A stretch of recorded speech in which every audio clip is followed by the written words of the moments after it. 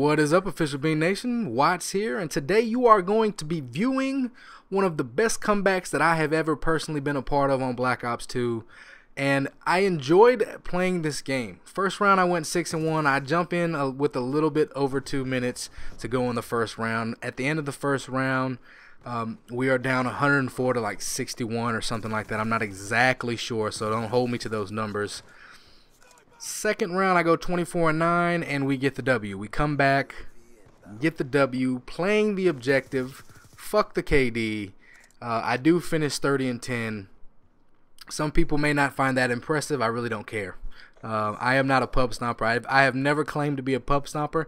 I have never claimed to be a good COD player. I am the average COD player. Um, I play COD for for fun. You know, I, I do not base my life on any kind of achievement on Call of Duty. I don't base this shit on my KD. But uh, anyways, normally guys, I do my strip club stories for OBN, but today I want to talk to you about something totally different and I want to talk to you about YouTube and the game that you play on YouTube, okay? People see these big YouTubers like Woody's Gamertag and and they see that you can make a living off of YouTube. Um, there are a lot of big YouTubers that all they do is they make videos, they post these videos, and they get paid for them. Well, because of that, you have a lot of people who think, you know, I can make a video and I'll blow up and I will be making money like Woody's Gamertag and I don't have to get a real job. I do YouTube for fun. I am not partnered with anybody.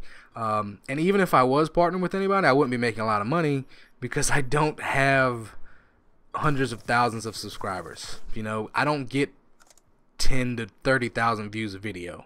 Um, so I don't think that way. But you have a lot of people that think that they're actually going to make a living doing YouTube.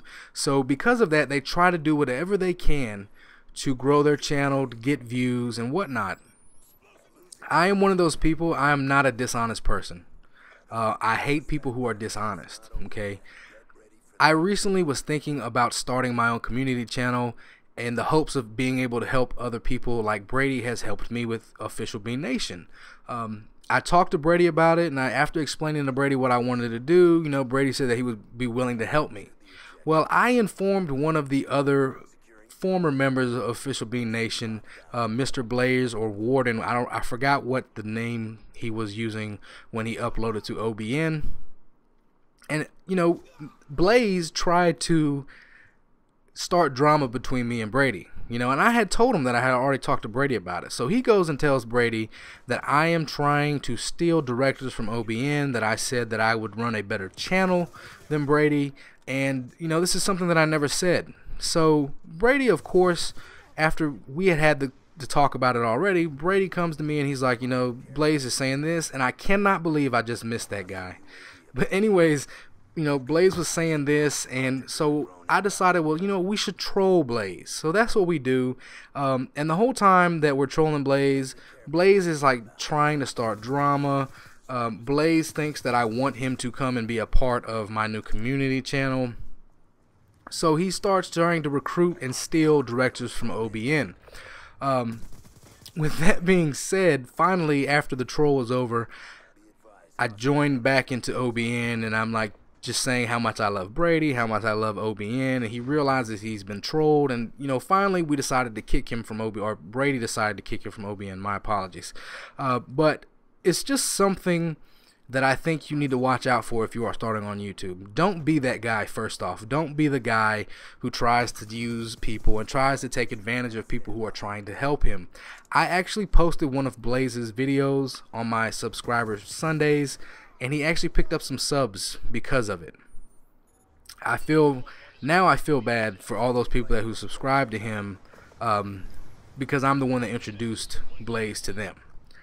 Um, so you know, and normally whenever somebody joins OBN, I'm very distant to that person. You know, I'm not rude to them, but I'm not one of those people that is like, you know, oh yeah, cool, link me your channel so I can subscribe. I just don't do that because I want to make sure that the reasons you're joining OBN um, are legit reasons. Like you really just want to grow your channel and you want to be a part of something other than yourself. Um, that is why I'm a part of OBN. You know, I feel like it is a, a good thing. It's a way to grow. It's a way to network with other YouTubers. I've met a lot of people because of OBN, um, and I've grown my channel because of OBN. And like a lot of the success I have had with growing my channel has, in my opinion, has really nothing to do with me. It has more to do with um, OBN and Brady and some of the connections I've been able to build because of that.